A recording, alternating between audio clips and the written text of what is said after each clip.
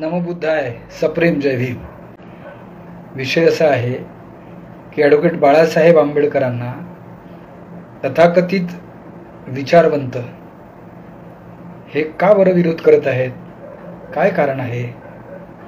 हा त्यांचा विषय आहे. आणि या विषयावर मी माझं चिंतन मांडण्याचा प्रयत्न करणार आहे.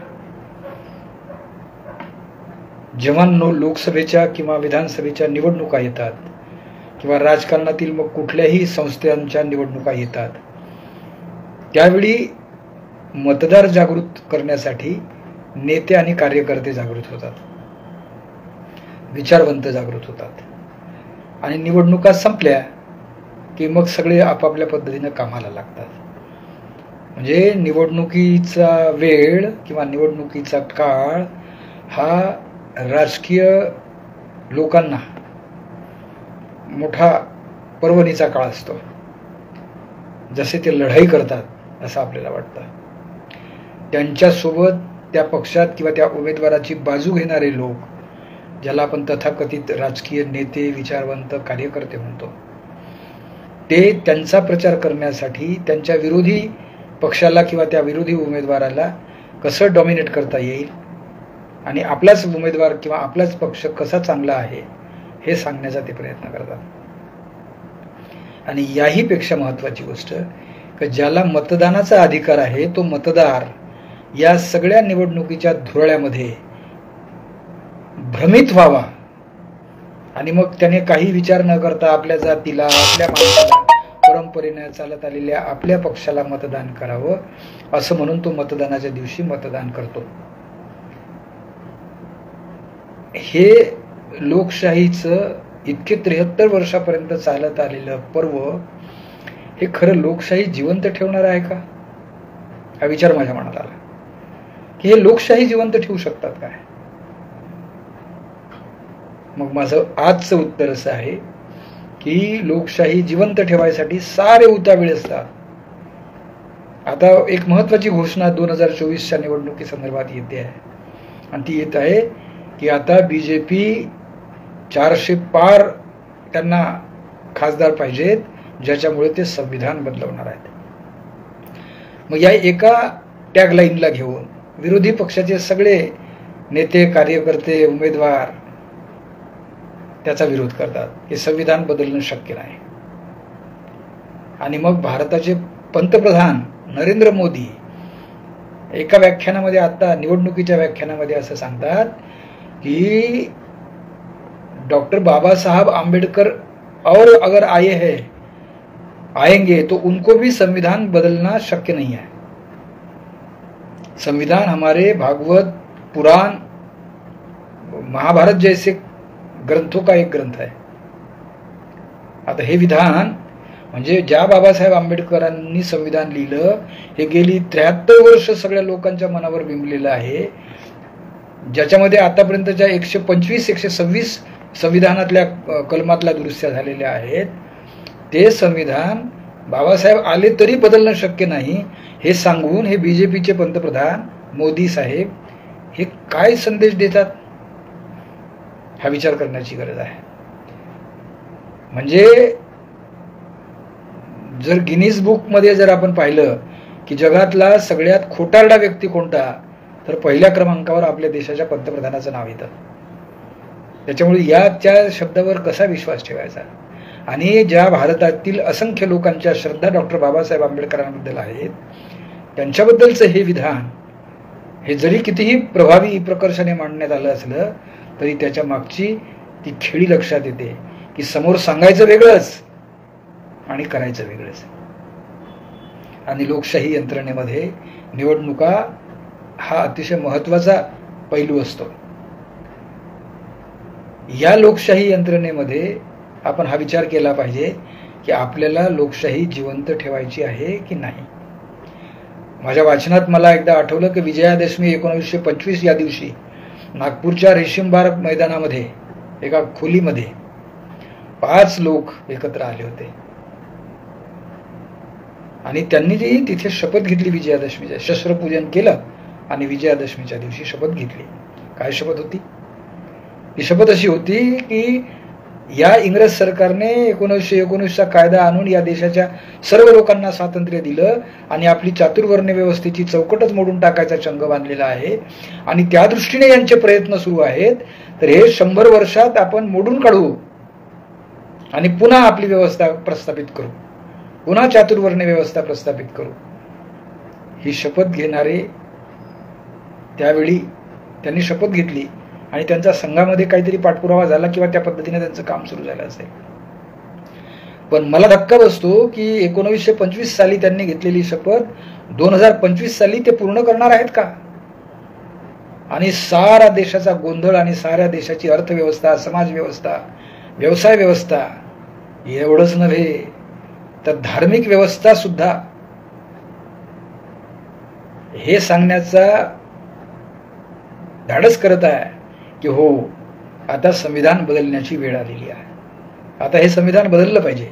आता लोकशाही यंत्रणा बदललीच पाहिजे. आता पुन्हा ती चातुर्वर्ण व्यवस्थेची चौकट सुरू झाली पाहिजे. या दृष्टीने विचार केला तर दोन हजार चोवीसची निवडणूक जी लोकशाहीची निवडणूक आहे भारतीय लोकसभेची निवडणूक आहे या निवडणुकीमध्ये जर मतदारांनी आपलं लक्ष व्यवस्थित रीतीने केंद्रित करून आपल्या मतदानाचा अधिकार बजावला नाही तर शंभर टक्के आपण गुलामीत जाणार. आपली घटना कायमची बाहेर जाणार असं वाटायला लागतं. त्यावेळी डॉक्टर बाबासाहेब आंबेडकरांचे विधान मला आठवतं. ते मी आपल्यासमोर वाचून दाखवलं पाहिजे म्हणून मी मुद्दाम सांगत आहे. बाबासाहेब आंबेडकरांनी संविधान सभेत जे अखेरचं भाषण केलं त्या अखेरच्या भाषणामध्ये ते पंचवीस नोव्हेंबर एकोणीसशे एकोणपन्नासला केला. त्या अखेरच्या भाषणामधला एक उतारा मी आपल्यासमोर वाचून दाखवतो. बाबासाहेब असं म्हणतात की या ठिकाणी मी माझे भाषण संपविले असते. परंतु माझे मन देशाच्या भवितव्याबाबत इतके चिंताग्रस्त आहे की त्या संबंधातील माझी मते व्यक्त करण्यासाठी मी या प्रसंगाचा उपयोग करावा असे मला वाटते. सव्वीस जानेवारी एकोणीसशे पन्नासला भारत एक स्वतंत्र राष्ट्र होईल. त्यांच्या स्वातंत्र्याचे काय होईल? तो आपले स्वातंत्र्य अबाधित ठेवील की पुन्हा गमावून बसेल? हा विचार माझ्या मनात प्रथम उभा राहतो. असे नाही की भारत यापूर्वी कधीही स्वतंत्र नव्हता. मुद्दा हा आहे की त्याने असलेले स्वातंत्र्य एकदा गमावले आहे. तो पुन्हा दुसऱ्यांदा गमविल का? भवितव्याबाबतचा हाच विचार मला सर्वाधिक चिंताग्रस्त करतोय. भूतकाळात भारताने केवळ आपले स्वातंत्र्य गमावले असे नव्हे तर देशातील काही लोकांच्या बेईमानी आणि विश्वासघातामुळे गमावले गेले ही वास्तविकता मला अधिक अस्वस्थ करते. मोहम्मद बिन कासिमने सिंध प्रांतावर आक्रमण केले त्यावेळी दहा राज्याच्या सैनिक अधिकाऱ्यांनी मोहम्मद बिन कासिमच्या हस्तकाकडून लाचा स्वीकारल्या आणि आपल्या राजाच्या बाजूने लढण्याचे नाकारले मोहम्मद घोरीला भारतावर आक्रमण करण्याचे निमंत्रण देणारा जयचंद होता आणि त्याने त्याला पृथ्वीराज विरुद्ध लढण्यासाठी स्वतःच्या आणि सोळंकी राजांच्या मदतीचे आश्वासन दिले. जेव्हा शिवाजी हिंदूंच्या मुक्तीसाठी लढत होता त्यावेळी इतर मराठा सरदार आणि राजपूत राजे मोगल सम्राटांच्या बाजूने युद्ध लढत होते. जेव्हा शीख राज्यकर्त्यांचा निपात करण्याचा प्रयत्न इंग्रज करत होते तेव्हा त्यांचा प्रमुख सेनापती गुलाब सिंग शांत बसला आणि शिखांचे राज्य वाचविण्यासाठी त्याने शिखांना मदत केली नाही. अठराशे सत्तावन्नला भारतातील बहुतांश भागांनी इंग्रजांच्या विरुद्ध स्वातंत्र्य युद्धाची घोषणा केली तेव्हा शीख बघ्याच्या भूमिकेत त्या घटनेकडे पाहत राहिले. इतिहासाची पुनरावृत्ती होईल काय? याच विचाराने मी चिंताग्रस्त झालोय. जातींच्या आणि संप्रदायांच्या स्वरूपातील आपल्या जुन्या शत्रूंसोबतच भिन्न आणि परस्पर विरोधी विचार प्रणाली असणाऱ्या बऱ्याच राजकीय पक्षांचीही भर पडणार आहे. या वास्तवाच्या जाणीवेने मी अधिक चिंतातूर झालोय. भारतीय लोक आपल्या तत्वप्रणालीपेक्षा देशाला मोठे मानतील की देशापेक्षा तत्वप्रणालीला मोठे मानतील? मला माहीत नाही. परंतु एवढे मात्र निश्चित की जर पक्षांनी स्वतःच्या तत्वप्रणालीला देशापेक्षा मोठे मानले तर आपले स्वातंत्र्य दुसऱ्यांदा धोक्यात आल्याशिवाय राहणार नाही. आणि कदाचित कायमचे घालविले जाईल या संभाव्यतेविरुद्ध लढण्यासाठी आपण कटिबद्ध व्हायलाच हवे. आपल्या रक्ताचा शेवटचा थेंब असेपर्यंत आपल्या स्वातंत्र्याच्या रक्षणासाठी आपण निर्धार केलाच पाहिजे. हे डॉक्टर बाबासाहेब आंबेडकरांचं संविधान सभेतल्या अखेरच्या भाषणातील हे थोडंसं चिंतन मी आपल्यासमोर मांडलं आणि दोन हजार पंचवीसला या भाषणामध्ये बाबासाहेबांना जी चिंता होती की लोकशाही आपण गमावणार आहोत की नाही कशी गमावली जाईल? आपल्याच देशातील लोक आपलेच लोक आपल्याला बेईमान होऊ शकतात. आणि हे कदाचित लोकशाहीचं स्वातंत्र्य आपण गमावून बसणार. यासाठीच आज हा विषय निवडलेला आहे की बाळासाहेब आंबेडकरांना तथाकथित विचारवंत का बरं विरोध करत आहे? हा विचार केला पाहिजे. गंमत अशी आहे की डॉक्टर बाबासाहेब आंबेडकरांनी जे कार्य केलं त्याचा सगळ्यात जास्त फायदा दलित समाजाला मिळाला.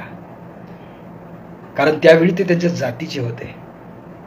परंतु बाबासाहेबांचं कार्य हे सगळ्या देशासाठी आहे. देशातील सर्व लोकांसाठी आहे.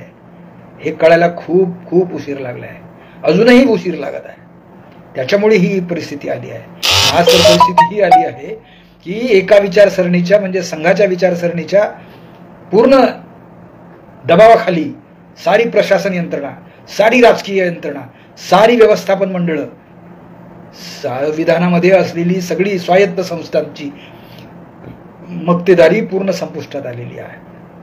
आता मोदी करणार तेच होणार ही गोष्ट पाहिली की लक्षात येतं की आपल्या देशातली लोकशाही संपुष्टात येण्यासाठी सज्ज झालेली आहे. याचं अतिशय जवळचं उदाहरण मी देतो की अमरावती लोकसभा मतदारसंघामध्ये ज्या दिवशी उमेदवारी भरण्याचा शेवटचा दिवस होता त्याच्या दोन दिवस आधी त्या लोकसभेच्या खासदार नवनीत राणा यांनी एक राजीनामा पत्र आपल्या नवऱ्याच्या नावाने दिले की मी तुमचा स्वाभिमान सोडत आहे आणि बीजेपीमध्ये सहाय्य जात आहे.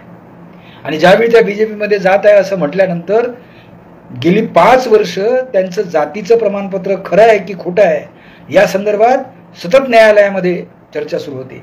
आणि उच्च न्यायालयाने त्यांनी दिलेलं जातीचं प्रमाणपत्र हे खोटं आहे हे सिद्ध केलं. त्याच्यावर ह्या महाशया सुप्रीम कोर्टात गेल्या.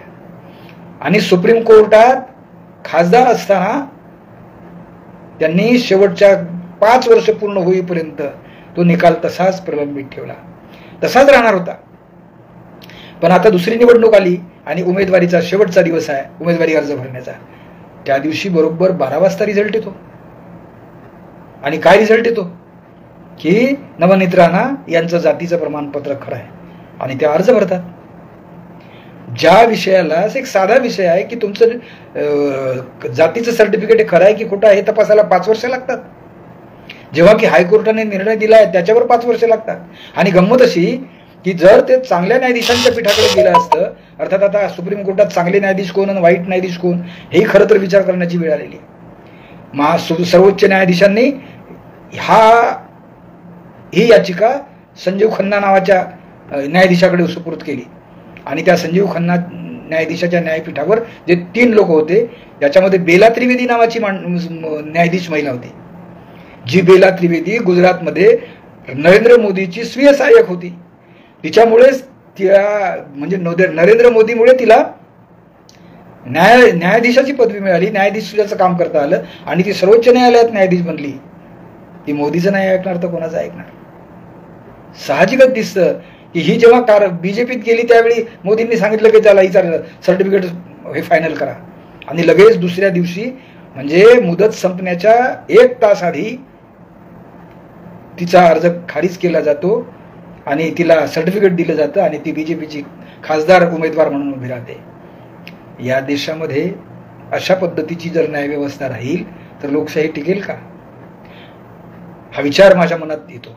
आणि अशा अनेक न्यायालयीन ज्या न्यायाधीश भारतीय संविधानामध्ये न्यायव्यवस्था ही स्वतंत्रपणे काम करील हे जे लिहिलं आहे ती आज भारताची न्यायव्यवस्था स्वतंत्रपणे काम करण्यास कटिबद्ध आहे का?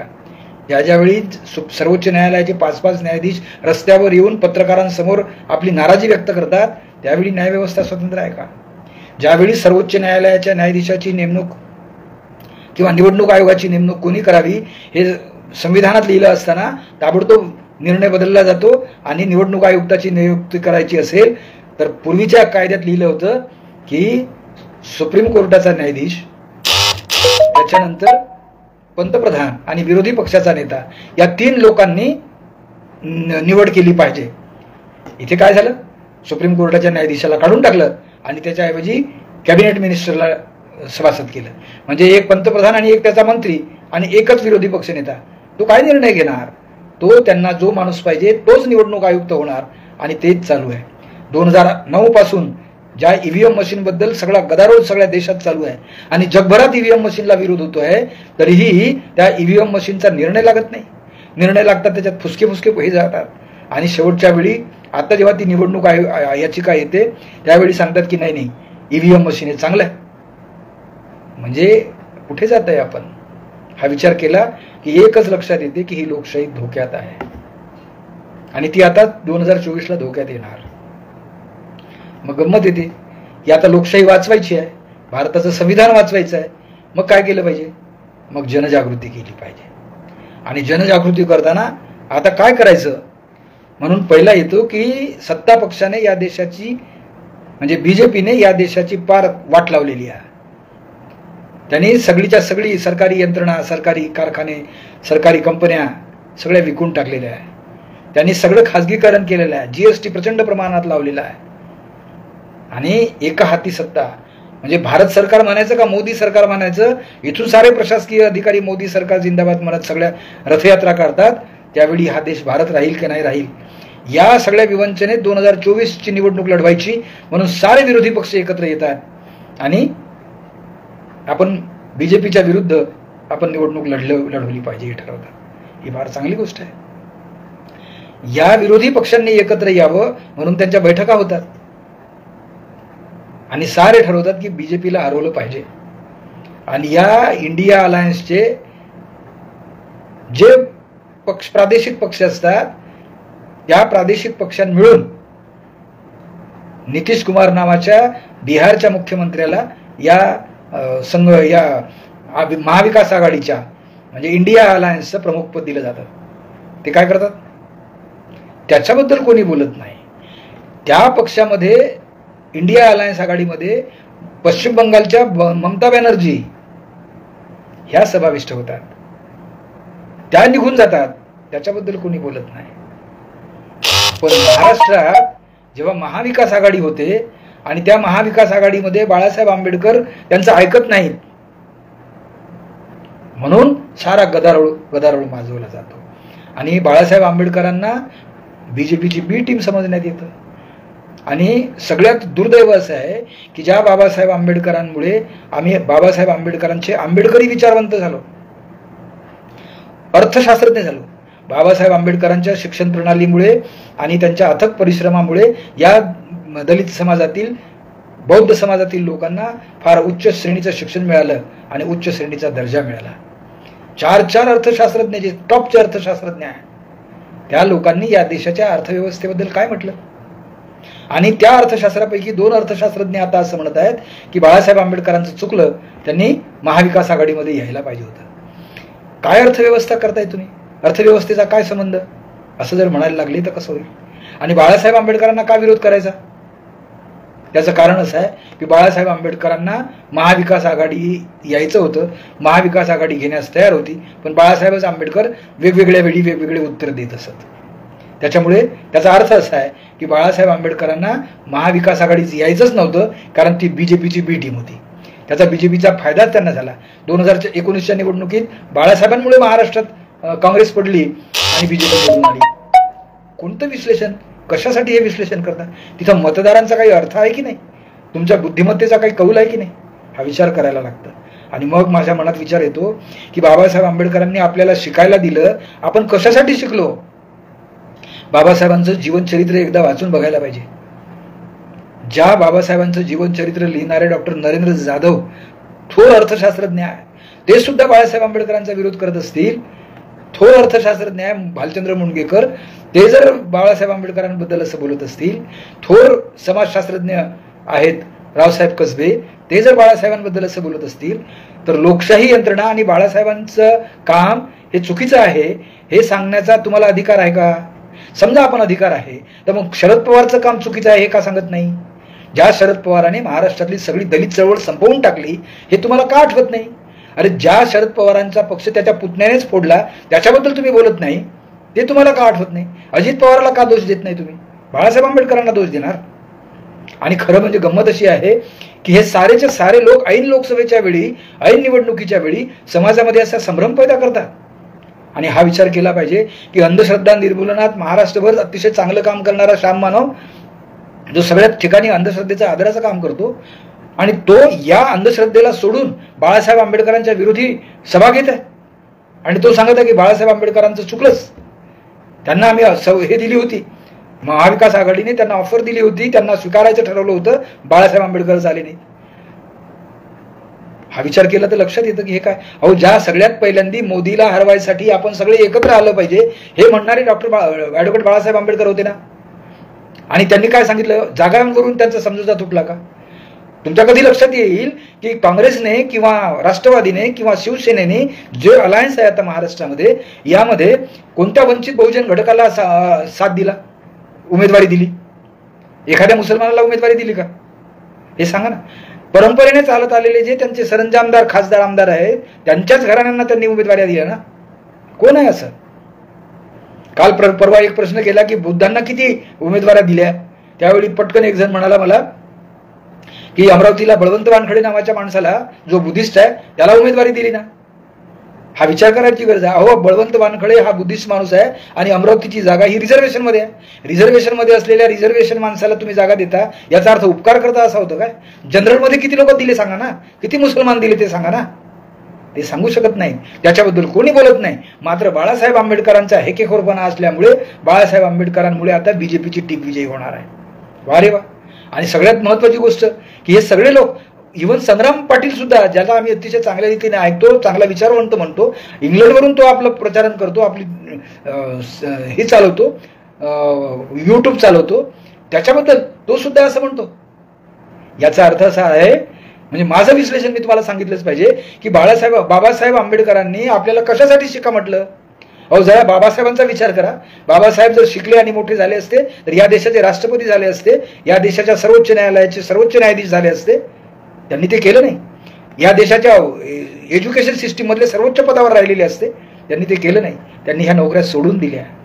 त्यांनी प्राचार्य प्राध्यापक प्राचार्य पदाची नोकरी सोडून दिली. त्यांनी आपल्या वकिलीचा पेशा सोडून दिला.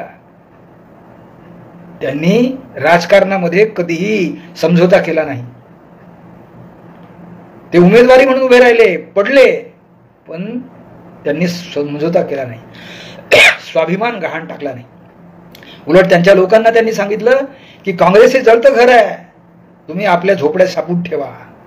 त्यांनी हे सांगितलं की मतदार हा राजा आहे. मतदाराला जागृत करायचं काम आपलं आहे. त्यांनी हे सांगितलं की जा तुमच्या भिंतीवर लिहून ठेवा की तुम्हाला शासनकर्ती जमात बनायचा आहे. हे विधान बाबासाहेब आंबेडकरांची तुम्ही ऐकले नाहीत? जर ऐकले असतील तर किती बहुजन समाजातील लोकांना आपण जागृत केलं. या बाबतीत नेहमी कांशीरामांचं अतिशय चांगलं उदाहरण दिलं जातं की कांशीरामांनी बाबासाहेब आंबेडकरांची चळवळ चालवली. आपल्याला माहीत आहे बाबासाहेबांचं एक विधान होतं जाती तोडो. हा मुद्दा होता. देश जोडो. समाज जोडो. जाती तोडायला ज्या बाबासाहेब आंबेडकरांनी सांगितलं की जाती जोपर्यंत राहतील तोपर्यंत विषमता राहील. तोपर्यंत उच्च निच भेद राहील. जाती व्यवस्था जोपर्यंत आहे तोपर्यंत शोषण व्यवस्था कायम राहील. हे डॉक्टर बाबासाहेब आंबेडकरांच्या अनेक विधानातून अनेक पुस्तकातून आपल्याला सिद्ध करता येऊ शकतं. त्या बाबासाहेब आंबेडकरांच्या बद्दल कांशीरामांनी कुठून सुरुवात केली? जाती जोडो. म्हणजे जाती जोडायच्या आणि समाज जोडायचा. बरं त्या पक्षाचं नाव काय आहे? त्या पक्षाचं नाव आहे बहुजन समाज पार्टी. आणि बहुजन समाजाचे महाराष्ट्रात किती लोक आहेत? सारेच्या सारे दलित समाजाचे सारेच्या सारे बुद्धिस्ट समाजाचे नेते कार्यकर्ते आहेत. हे जेव्हा लक्षात येतं तेव्हा कुठं बहुजन समाज आहे? आणि बहन मायावती अरे ज्या बहन मायावतीने हत्ती सांगितलं आणि एका निवडणुकीत ती असं म्हणाली की हाती नाही गणेश आहे ब्रह्मा विष्णू महेश आहे. ज्या बाबासाहेब आंबेडकरांनी एकोणीसशे छप्पन साली तुम्हाला बावीस प्रतिज्ञा दिल्या आणि त्याच्यात स्पष्ट म्हटलं की मी हिंदू धर्माला मानणार नाही त्यांची उपासना करणार नाही. मग हे ब्रह्मा विष्णू महेश म्हणजे या आंबेडकरी विचारांच्या तुम्ही आपण तज्ज्ञ लोक आहोत. आंबेडकरी समाजाने तुम्हाला डोक्यावर धरलेला आहे. तुम्हाला हा विचार येत नाही.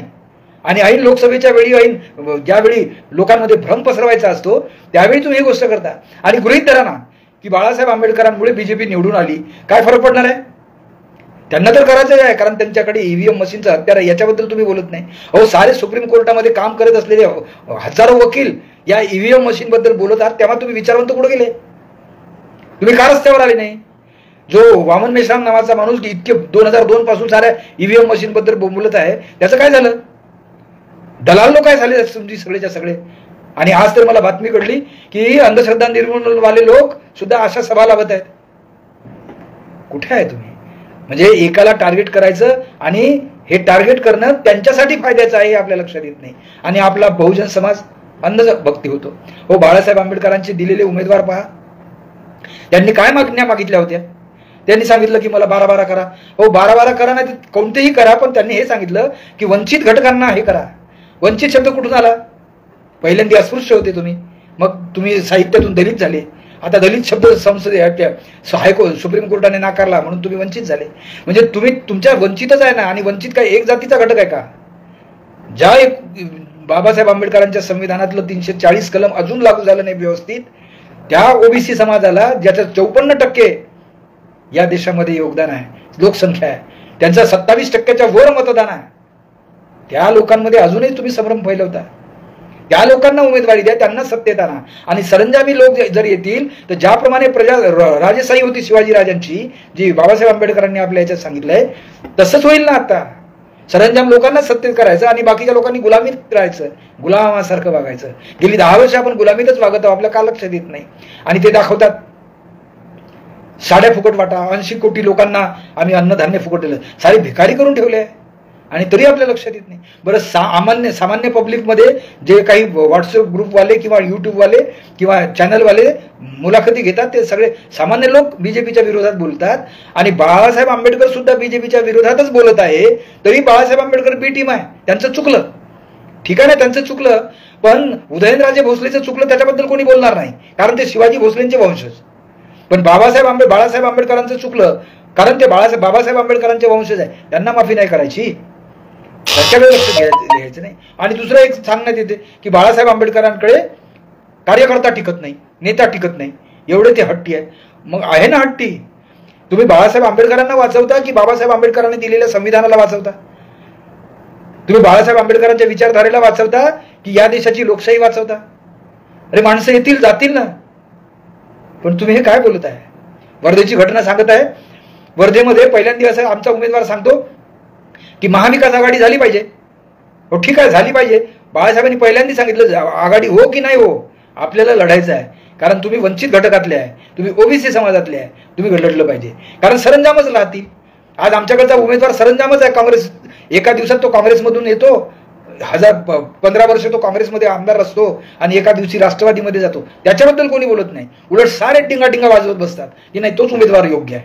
म्हणजे जो पक्ष बदलतो तो उमेदवार योग्य आहे. आणि हे पक्षात जात नाहीत हा उमेदवार अयोग्य आहे. अरे वा रे वा. म्हणजे कुठे डोकं चाललं आपलं? म्हणजे बाबासाहेब आंबेडकरांनी आपल्याला शिकवलं आपल्याला पद्मश्री पदव्या दिल्या आपल्याला उच्च विद्या विभूषित केलं आणि आपण असं बोलत आहोत. आणि आई निवडणुकीच्या तोंडावर. अरे पाच वर्ष ते सतत आर एस एस वाले काम करत राहतात ते निवडणुकीसाठी काम करत राहतात आज त्यांच्याकडे फक्त पाच टक्के मतं आहेत आणि तरी ते सत्तावीस अठ्ठावीस टक्क्यापर्यंत जातात बत्तीस टक्क्यापर्यंत जातात. हा उरलेला मत मतदानाचा एवढा मोठा गठ्ठा त्यांच्याकडे कोण आणतो? कुठून येतं? हा ओबीसी समाज असतो तो सतत भ्रमित करत राहतात. आजपर्यंत आमच्या लक्षात आलं नाही की रामाची रामाचा जन्म रामनवमीच्या दिवशी होतो. आणि तरीही निवडणुकीच्या तोंडावर या देशाचा पंतप्रधान हिंदू स्वराज्य सम्राट म्हणतो स्वतःला आणि तो रामाचं अयोध्येला प्राणप्रतिष्ठा करतो. म्हणजे दोन दोन वेळा रामाचा जन्म करतो तरी तो बरोबर आहे. पण बाळासाहेब आंबेडकर चुकलेले आहे. ज्या शरद पवारांनी आपल्या दलित समाजाची बौद्ध समाजाची चळवळच्या चळवळ संपवून टाकली. ज्या जोगेंद्र कवाडेनी नामांतरासाठी आपलं आयुष्य झिजवलं लढा उभा केला. आणि तोच लढा पंधरा वर्ष केवळ केवळ शरद पवारांमुळे प्रलंबित राहिला तो प्रश्न. आणि त्याच्यानंतर त्यांनी केला. काय झाला आज? जोगेंद्र कवाडे कुठे आहेत? जोगेंद्र कवाडे बीजेपीमध्ये आहेत. रामदास आठवले ज्यांनी दलित पॅन्थरचं एवढी चळवळ चालवली. आणि महाराष्ट्रामध्ये जेवढे अन्याय अत्याचार होते ही तरुण पोरं आमच्यासारखी तरुण पोरं तेव्हा काम करत होती. तो रामदास आठवले जळगावच्या साहित्य संमेलनात एकशे चार वेळा त्यांनी शरद पवारांना शिव्या दिल्या. हे आम्ही सगळ्यांनी ऐकलंय. साहित्य संमेलनात आपण ऐकलं असेल. त्या शरद पवारांनी त्यांना जवळ केलं आणि एका बाजूने जोगेंद्र कवाडे दुसऱ्या बाजूने रामदास आठवले तरी त्या दोघांचं सत्य होऊ दिलं नाही. ते शरद पवार चांगले आहे. म्हणजे तो धूर्त माणूस शकुणी माणूस तो चांगला आहे. आणि बाळासाहेब आंबेडकर वाईट आहे. कुठल्या व्याच्यात आहे? ज्या काँग्रेसने इतके वर्ष सत्ता गाजवली इतके वर्ष केलं एक नम्र असतो पण हे काँग्रेसवाले कोण आहे? अरे काँग्रेस चालवणारे सुद्धा आर एस एस माइंडेड लोक होते हे तुमच्या कसं लक्षात येईल? काँग्रेस ही वकिलांची पार्टी होती आणि वकिलांमध्ये सारेच्या सारे ब्राह्मण समाजाचे लोक होते. हे केव्हा विसर केव्हा तुमच्या लक्षात येईल? आज सुद्धा काँग्रेस चालवतात ते. मला सांगा महारा भारताच्या काँग्रेसचा अध्यक्ष ज्याचं नाव मल्लिकार्जुन खरजे खरगे आहे त्याला काय ताकद आहे?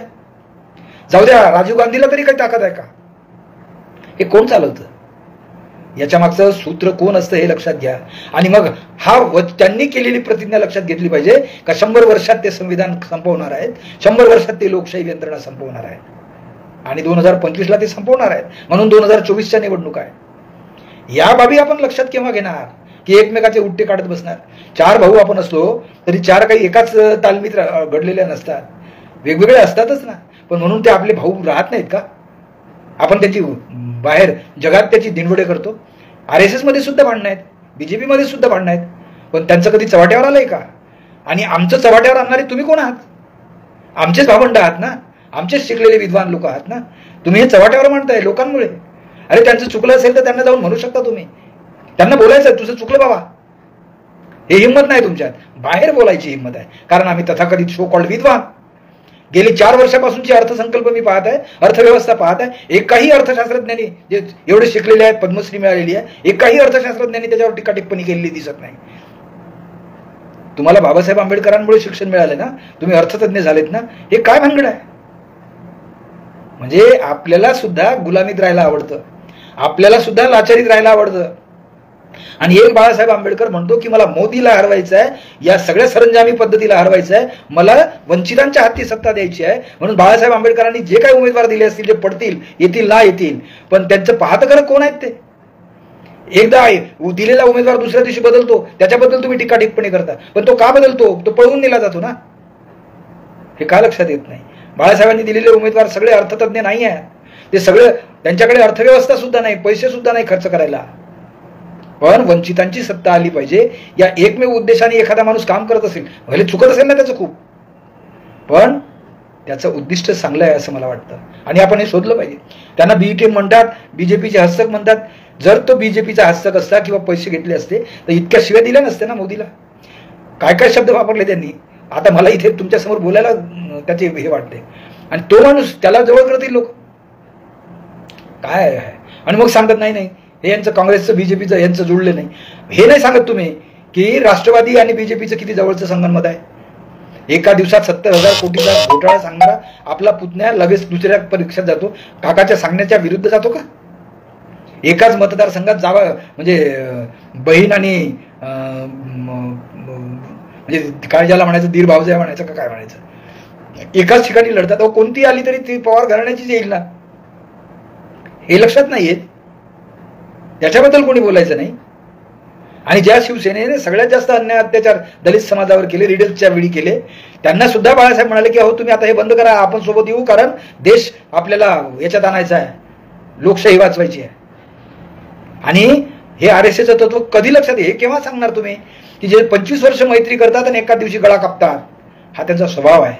आणि वशिष्ठ सूत्रामध्ये वशिष्ठ मुलींना लिहून ठेवलेला आहे. बाबासाहेब आंबेडकरांनी रिडल्स इन हिंदुइझम या पुस्तकामध्ये त्याचा उताराचा उतारा दिलेला आहे. की ब्राह्मण लोक स्वतःच्या स्वार्थासाठी काहीही करू शकतात. आणि वशिष्ठानेच लिहिलेलं आहे जे महाभारतात दुर्योधनाला आपल्या याला सांगण्यात आलं युधिष्ठिराला सांगण्यात आलं. काय सांगण्यात आलं? की बघा प्रेमासाठी सत्तेसाठी पैशासाठी आणि ब्राह्मणाच्या हितासाठी खोटं बोलणं हे पाप नाही. हत्या करणं हे पाप नाही. विश्वासघात करणं हे पाप नाही. हे जर वशिष्ठ मुनींना लिहिलेलं आहे आणि अजूनही वशिष्ठ मुनीचे सगळे त्याचे फॉलोअर्स त्याचे सगळे पुजारी पंडे त्या पद्धतीनं वागायला सगळ्या लोकांना सांगत असतील आणि आपल्याला भ्रमित करत असतील. तरीही आपला देश लोकशाही प्रधान आहे म्हणायचं. अहो ज्या लोकशाहीच्या पहिल्या संविधानातल्या पहिल्या पानात we the people of India that is Bharat असं म्हटलेलं आहे त्याच्यातला भारत हा शब्द आता गाळून टाकला नाही यांनी. आता हिंदुस्थान आणि राहुल गांधी सुद्धा साक्षात हिंदुस्थान म्हणायला लागले. म्हणजे हा देश हिंदुस्थान आहे हा शिखांचा नाही हा ख्रिश्चनांचा नाही हा बौद्धांचा नाही हा मुसलमानांचा तर नाहीच नाही. या मेंटॅलिटीचे लोक जर असतील तर त्यांना दुरुस्त करायसाठी तुम्ही त्यांच्यासाठी भाषण का नाही तयार करत त्यांच्यासाठी पुस्तकं का नाही लिहित त्यांच्यासाठी का नाही करत? आणि निवडणुकीच्या वेळी कारण बाळासाहेब आंबेडकरांना शिव्या दिल्या की ऐकणाऱ्यांना आनंद होतो आणि भ्रम फैलवला जातो. आज एक माणूस आहे उद्या दुसरा येईल. पण ही जर लोकशाही संपुष्टात आली आता बाबासाहेब आंबेडकरांनी सांगितल्याप्रमाणे तर आपण कुठे राहू? हा विचार केला पाहिजे. आपलं अस्तित्वच नाही. आणि मी तुम्हाला सांगितलं पाहिजे आंबेडकरी विचारवंताच्या सगळ्या नेत्यांना कार्यकर्त्यांना बौद्धिक विचारवंतांना की जर ही लोकशाहीची लढाई आपण सहभागी झालो नाही तर आपली गुलामी अटळ आहे. हे ध्यानात ठेवा. आणि त्याच्यात सगळ्यात जास्त फटका केवळ आणि केवळ बुद्धिस्ट समाजाला लागेल. कारण जो बौद्ध धर्म या देशाचा धम्म आहे असं आपण म्हणतो आपण कधी विचार करणार?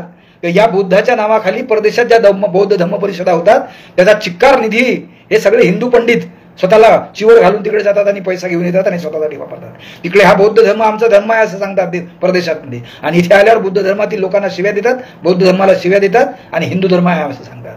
हे जेव्हा एखाद्या राजरत्न आंबेडकर नावाच्या पोराच्या लक्षात येतं तो परदेशात जातो आणि तो सांगतो का रे हे असंच आहे. ज्या बौद्ध गयेसाठी ते आतापर्यंत हिंदूंच्या ताब्यात आहे. त्यासाठी ज्यावेळी आंदोलन सुरू होतं नागपुरातून त्यावेळी आर एस एसचे तीनशे भिक्षू भिक्षूच्या वेशात जातात आणि तिथे वेगळ्या वेगळ्या पद्धतीने कुरवडी करतात आणि तो प्रश्न तसाच प्रलंबित राहतो. हे केव्हा तुमच्या लक्षात येईल? बाबासाहेब आंबेडकरांनी दिलेला देश स्वावलंबन स्वातंत्र्य समता बंधुता हे कुठे जाईल? आपण शिकलो आपल्याला आपली व्यवस्था झाली ना? पण माझा अनुभव आहे की मी क्लास वन ऑफिसर आहे तरी मी जातीचा दलित असल्यामुळे मला वापरल्या जात नाही. माझा चपराशी सुद्धा माझा सन्मान करत नाही. ही वस्तुस्थिती आहे. मला टर्मिनेट केलं जातं मला काढून टाकलं जातं. आणि माझा कुलगुरू सुद्धा मला कुलगुरू पदावर येऊ नये म्हणून माझं निलंबन मान्य करत राहतो. म्हणजे आमची जात गेली का? आम्ही अजूनही अस्पृश्य फक्त शब्द बदलले. पण आमच्याबद्दलची त्या लोकांची वागणूक बदललेली नाही. हे केव्हा बदलेल? जेव्हा बहुजन समाज सत्तेत येईल कोणताही बहुजन समाज या नावाने सत्तेत आलेला नाहीये ध्यानात ठेवा. गेल्या पन्नास वर्षाचा इतिहास आहे. बहुजन समाज नावाची कोणतीही संघटना किंवा कोणतेही लोक बहुजन आहेत या नावाने सत्तेत आले नाही. ते सारेच्या सारे सरंज आमदार आहेत. परंपरेने चालत आलेले मालगुजार आहेत. त्याच लोकांच्या हाती सत्ता दिलेली आहे. आणि रिझर्वेशन जे बाबासाहेब आंबेडकरांनी दिलं त्यामुळे एखादा रिझर्वेशनचा कोणता तरी आमदार खासदार येतो आणि तो आयुष्यभर लाचारी करत राहतो. तो त्याच्या जातीसाठी त्याच्या जमातीसाठी काहीच करत नाही. ही गेली साठ सत्तर वर्षातली अवस्था असताना आपण यावेळी असं बोलायचं. आपल्या लक्षात येत नाही की असे चांगले चांगले माणसं यावेळी कसे पेड सर्वंट असतात वेगवेगळ्या सभा घेतात. या निवडणुकीच्या सभा एखाद्या वेगळ्या संघटनेने घ्याव्या हा काय विचार आहे? आणि मग त्याची जात पाहायला जाते आणि मग लक्षात येते कधी याचा डीएनए काय आहे? नाहीलाच असतो. आम्ही कालपर्यंत त्याला डोक्यावर घेऊन नाचत असतो आणि आज असं बोलत असताना आपल्या ध्यानात येतं. म्हणून मित्र हो कृपा करून जर तुम्ही खरेच आंबेडकरवादी असाल तर माझी तुम्हाला नम्रपणे हात जोडून विनंती आहे. नका करू हे असं. माणूस चुकतो मान चुकणे हाच माणसाचा धर्म आहे. पण त्याची चूक चव्हाट्यावर नेऊन तुम्ही बोबाटा करून त्याच्या चिंध्या फाडू नका ना. कारण तो तुमचा माणूस आहे. बाळासाहेब बाबासाहेब आंबेडकरांच्या रक्ताचा आहे. अशा चिंध्या फाडून तुम्ही काय करणार आहे? उलट तुम्ही आतून हा केला पाहिजे प्रचार की हा आपण नंतर पाहून घेऊ यांचं. पहिले यांना हरवायचं आहे. आणि ह्या सगळ्या सरंजामदारांना हरवलं पाहिजे. तरच वंचितांची आणि बहुजनांची सत्ता येईल. ते का करत नाही? हे केलं पाहिजे. हे अतिशय काळाची गरज आहे. आणि हे जोपर्यंत तुम्ही वागणार नाही वापरणार नाही तोपर्यंत आपल्याला